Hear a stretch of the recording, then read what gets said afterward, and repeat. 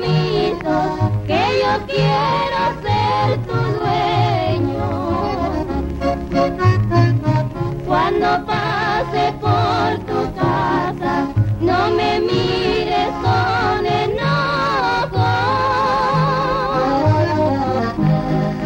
Que aquí tienes